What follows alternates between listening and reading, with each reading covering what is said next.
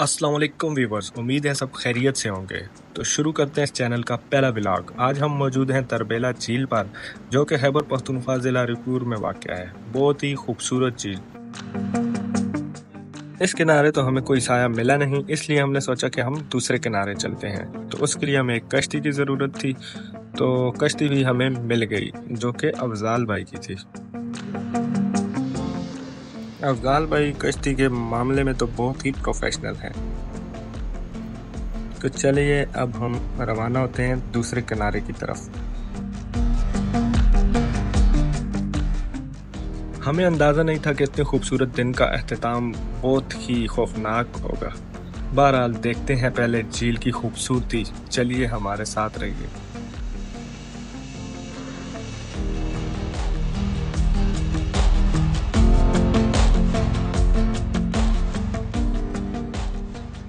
सब दोस्त मिल के गए थे, हम बहुत इन्जॉय किया, बहुत ही मज़ा आया।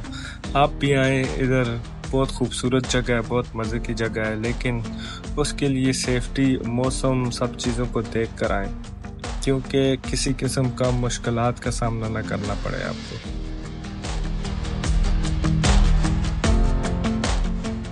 झील के माशाल्लाह बहुत ही खूबसूरत नज़ारे थे। हमने बहुत इन्जॉय किया, बहुत मज़ा आया। अभी हमने वो सामने पहाड़ों पे जाना है।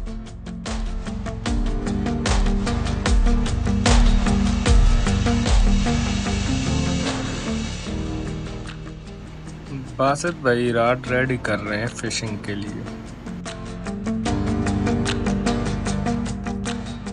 आखिरकार मुझे मंजिल नज़र आ गई सामने। वो सामने जो डेरा है, इस पर हमने जाना है। कश्ती वाला भाई भी जानने वाला मिल गया था, उससे गपशप हुई थोड़ा। उसके बाद हम पहुँच गए और कश्ती से उतर गए। ये देखें कितनी प्यारी बोट एक जा रही। पूरा दिन हमने यहाँ गुजारा कुकिंग की खाया पिया और इसके बाद शाम को हम यहाँ से उतरने लगे।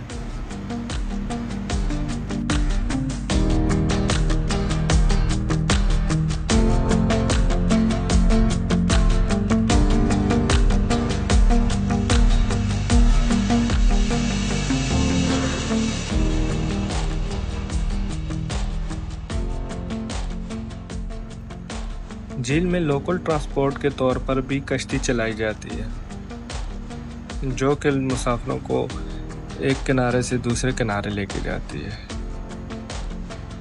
ये सामने जो कश्ती है, ये भी मेरे ख्याल में लोकल ट्रांसपोर्ट के तौर पर चल रही है। बासित भाई बासित भाई तो पानी में से निकलने का नाम ही नहीं रह रहे थे। मैंने भी एक जंप लगा दी। पानी की ऊपरली सतह गर्म और निचली सतह ठंडी थी। क्या बात है जी। ये देखें छोटी छोटी मछलियाँ।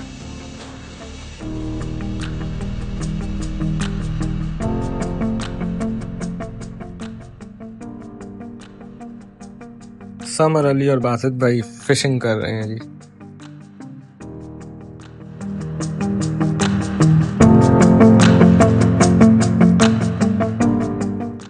और हमारी कश्ती भी रेडी है वापस जाने के लिए। तब वापसी का सफ़र हमारा स्टार्ट हो गया। बहुत ही खूबसूरत यादों के साथ और बहुत ही खूबसूरत नज़ारों के साथ हम सब दोस्त वापस जा रहे थे।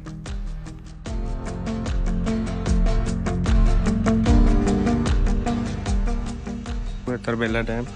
ये चौरासी गाँव के ऊपर बना हुआ है। इससे पहले, डैम से पहले यहाँ पर आबादी थी।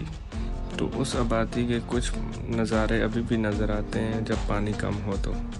उन पुरानी आबादियों में से एक ये भी है, जो कि पानी के अंदर है।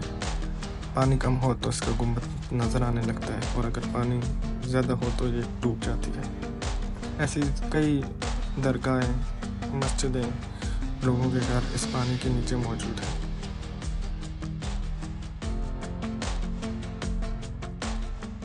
अगर आप वीडियो को फेसबुक पर देख रहे हैं तो फॉलो करें लाइक करें शेयर करें दोस्तों के साथ। और अगर यूट्यूब पर देख रहे हैं तो सब्सक्राइब करें कमेंट भी करें।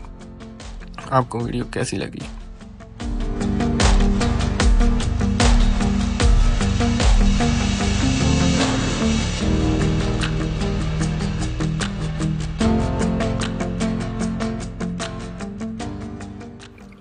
अफजाल भाई ने हमें तूफ़ान के बारे में आगाह तो कर दिया था, लेकिन हमें अंदाज़ा नहीं था कि ये खौफनाक हो जाएगा हमारे लिए।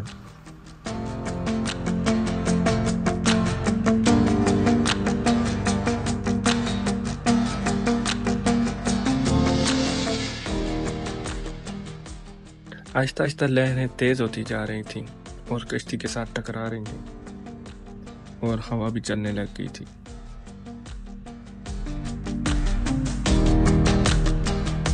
ही हम सब दोस्तों को लेकर वापसी का सफ़र तय कर रहे थे और सब एंजॉय कर रहे थे।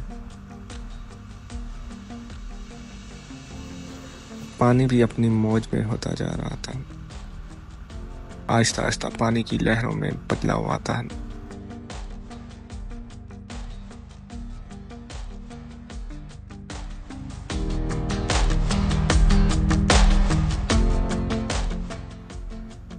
अफजाल भाई पर नज़र पड़ी और उनको मुतमिन देख कर थोड़ा हौसला हुआ और फिर लहरों की तरफ़ देखा और फिर सबने अफजाल भाई की तरफ़ देखा।